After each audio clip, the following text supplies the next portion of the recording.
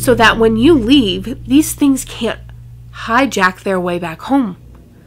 And then your poor little puppy, your poor little baby, your fiance, your brother, your sister, whoever is affected as well, and you might just be possessed.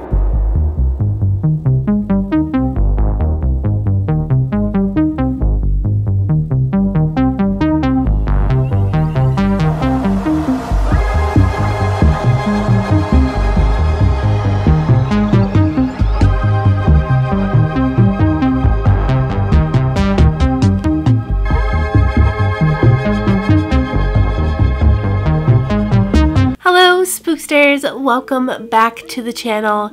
If you are new, my name is Sara Synister, and on this channel, we pretty much dive into anything spooky going on in my daily life. On top of that, I love to go on paranormal investigations solo and sometimes with my team, and dive into experimental forms of spirit communication as well as haunted objects. So if that's something that you're interested and you are not yet subscribed, you should hit the button, join our family, turn on your little bell icon, your post notifications so you get notified when we post more spooky content.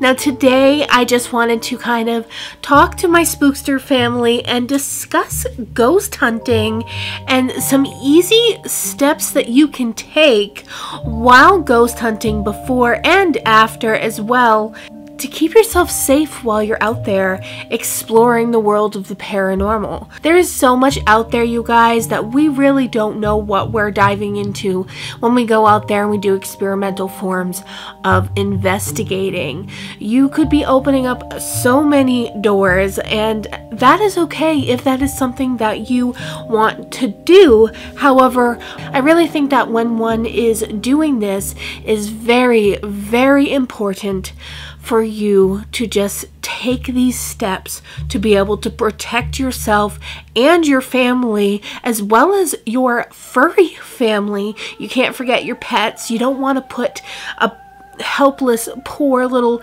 kitten or cute little puppy in danger of being tormented by a negative entity because you decided to go mess around with a Ouija board, or not even just a Ouija board. People always say Ouija board. Let's say you wanted to go to a crazy haunted location and host a seance and you brought something home with you.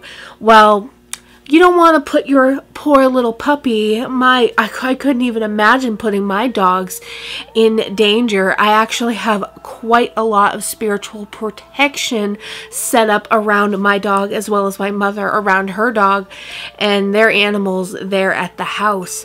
So we actually do things weekly and monthly to be able to make sure that we are keeping ourselves at a high vibration and keeping ourselves in check paranormal so that we can go out and do all of the things that we do and live stream every week and post spooky videos for you guys. Now that I'm done rambling for that moment, we are going to just discuss five tips that I've come up with that I use myself to keep myself protected while ghost hunting. So, the first and one of the most important rules with ghost hunting or diving into the paranormal field in general is you want to keep yourself in a high vibrational state.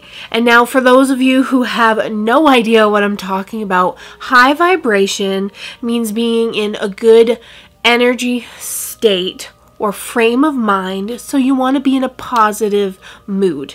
You want to be happy. You don't want something bad to have just happened in your life and you're in a miserable state and you're trying to reach out to a loved one or you just lost somebody and you're trying to reach out because you're grieving and you're upset because those are all negative things that bring your vibration down to a vulnerable state. By this happening, being in a more vulnerable, negative vibration, spirits are going to be able to attach to you, they're going to be able to mess with you, they're going to be able to torment you, they're going to be able to follow you because guess what? Your vibration is now low enough to match their own. And when that happens, they can jump you, they can feed off of your energy. So, the easiest way to explain this is we are literally the only realm of existence that is a physical realm. So, like physical, as in like mat, you know, body, I can actually touch you. All of the spiritual planes and the planes of existence that are not our own are like layered on top of our world. So you have all of these existences, and people are learning how to open doors between these realms. Well, it's not a physical place, it's a frequency place. So these spirits, these low vibrational spirits, or these negative spirits, these demonic spirits or negative entities, however you like to call them, lay on the very lowest of vibrational realms, which is the closest realm to our physical realm, the astral plane. This is the realm where somebody, when they just die, crosses through before they cross over into what other plane of existence they go to, right?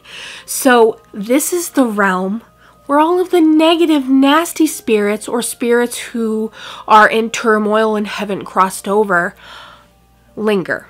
This is where also negative or demonic nasty spirits linger trying to find a way in to our physical realm and this is what happens when somebody who is in a negative frame of mind jumps on a Ouija board or tries to do automatic writing or tries to do something like a seance when they're grieving, right? You're at a low vibration and you're opening that door, and these negative entities will in turn pretend to be your loved one or befriend you, trying to make that connection. And then when it's finally able to come in, that's when it starts to torment you. And this can lead to all kinds of things, including possession. Now, as you guys know, on this channel, we cover all aspects of possession and exorcism from religious to non religious. I believe in high vibration and low vibration, so it's all energy to me. And depending on what frequency, depends on what plane of existence you're tapping into. So I really tried to explain to you the frequency thing um, in a simple manner, but it's something that is actually like a complex explanation. So I hope that didn't like really confuse you guys. If I did confuse you, please leave a comment down below and I can actually probably dive into a video that is solely based around this premise and talk about it more to clarify later. So the first tip is stay in a high vibrational good frame of mind before you even think about going ghost hunting or doing paranormal work in any manner, shape, or form. You want to be happy, you want to be in good spirits.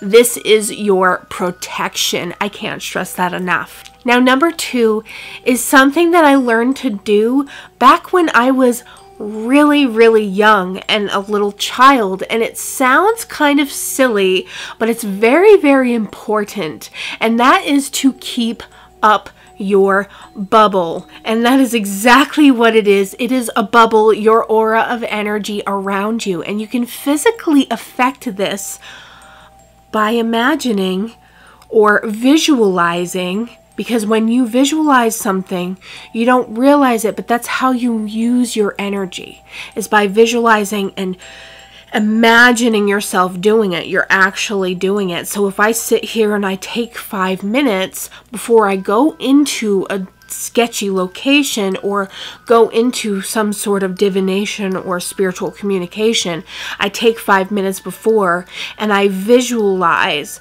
myself being surrounded by white light. And I just visualize my bubble, my sphere around me, literally being so tight and filled with love and light. And this will definitely help keep your aura strength up. This helps keep your energy up. This is your second form of protection after you have been in a so you're in a good frame of mind and then you have your bubble up you're super protected at this point. The next tip i have for you this is number three. Now this is own your energy and speak clearly what i mean by this is you do not want to allow anything, any permission to be able to use your energy or follow you home. So when you go into a location, specify. Be like, any entities or energies in this location I am attempting to communicate with or anything else that's here. You are not allowed to follow me home. You are not allowed to hurt me or harm me in any manner, shape, or form. And I am protected by love and light, that kind of thing. Um, and you don't have to say this out loud. You can say it in your head because guess what?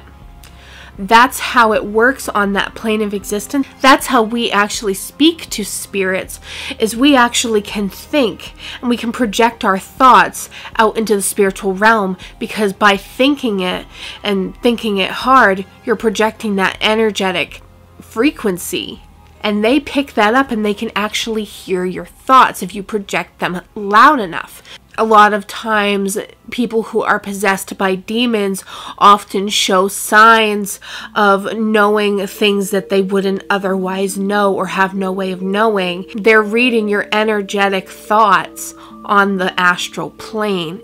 So they can actually know like things that you're trying to to ask them you're thinking the answer in your head, so in turn, they're able to pick up on that and say it back to you. It's actually a form of trickery. They don't actually know what you're thinking per se, they can hear you because you're projecting your thoughts. So if you wanted to actually keep your thoughts from being projected. And this is something that my mom and I had to do back when we had issues when I was a child with demonic entities we would sing nursery rhymes in our heads so that they couldn't hear what we were thinking. We had to preoccupy our mind onto something else so that we wouldn't think and give away the answer. Does that make sense? Oh my gosh. These are like, I didn't eh, plan on getting so long winded with the explanations of these tips, but I hope that you guys are understanding what I'm saying. So that is uh, it for number three own your energy and speak clearly. Now for tip number four this is a simple and an easy tip, so this one won't be long winded. It is simply know when to get out. Listen to your gut feeling. If you go into a location or you touch something and you feel wrong or it feels negative to you, don't do it. If you get the chills in a bad way and it makes you sick to your stomach, don't do it. If you feel like you're in a place and the energy changes on you and you feel uneasy, make sure that you're putting up your protection. The other tips that we talked about, putting up your bubble and making sure that you're in a good state of mind. But know above all else that if something is not feeling right, get out knowing when you're putting yourself in danger, knowing when you're putting yourself into a position where you shouldn't be, knowing that you're possibly taking home an object that could actually cause problems in the future. Like all of these little things. Know when to get out. that is my fourth tip for you guys. Finally, the last one, number five. This is super important as well. I think all of these tips are things that I literally do every single time I even think about doing anything paranormal. But number five, you guys, is a big one, and this is called cutting cords. Now, the easiest way to explain it is when we go to a location or we even make a phone call to a friend, you're stretching your energy out to that location or to that friend, or if you're even thinking about somebody, you're actually projecting your energy out to that person. What happens when you do that, right? You're extending your energy, you're opening, technically opening up a highway of a trail of your energy to that source. So, whatever's on the other end by that source can then in turn follow your trail back to you. So this is very important. Like if you're going ghost hunting and you're going to like a sanatorium or a hospital or wherever, you're going there, you're leaving your energy there. You need to make sure that you sever that cut, you sever that cord and you abolish that line so that when you leave, these things can't hijack their way back home. And then your poor little puppy, your poor little baby, your fiance, your brother, your sister, whoever is affected as well, and you might just be possessed. So, the simplest way to do this again is just by visualizing it because visualizing is how you use your energy. So essentially, you take a moment whenever you go anywhere, whenever you talk to anybody, especially somebody who's negative or possibly has things around them. When you're leaving, just physically take your hand and cut the cords or brush yourself. Sever those lines. Picture it like little threads that you're cutting them. You can picture them burning however you want to do it, how you want to visualize it. If you're visualizing it and you're putting that intent with your heart into doing it, your energy is doing it. And you are severing that cord. This needs to be done at all times whenever you're opening a communication or you're going somewhere because this keeps you safe and keeps your household safe. And that's it. Those are my five tips for ghost hunters who want to stay safe. They're easy tips and they're really, really important. So, I hope you guys enjoyed my little ramble video for you guys today. I want to start doing more like little tips and snippets of things that I use in my practice and in my paranormal investigations that keep me safe or help me along the way. I want to start doing little short videos like this because I feel like those long paranormal investigations that I do are awesome but they take a lot of time and a lot of effort to do. And I think sometimes sometimes my spooksters don't necessarily have 40 minutes to sit down and watch an entire investigation. So I want to start doing like 15 to 20 minute videos in hopes that more of my spooksters will be able to get more value in my content. So, that being said, I hope you guys remember your list and stay safe out there. Enjoy ghost hunting, enjoy your experimenting, and have fun and stay safe. And leave a comment down below of anything else that you guys think is important when you're ghost hunting or diving into the paranormal in general. All right, I will see you guys in the next video. Looking for something spooky to watch? Click on one of the videos above. And don't forget to subscribe to become a spookster and like the video.